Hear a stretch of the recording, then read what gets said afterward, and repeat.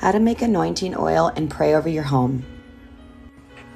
I like to use olive oil because it's used in the Bible, but you use any oil that you want and make sure that you separate it out. Once you do that, pray over it like this. God, I know all power comes from you, and I ask that you would bless this anointing oil as I separate it out as holy for your service, God. Use it as I pray over myself, my family, my home, and others in Jesus' mighty name.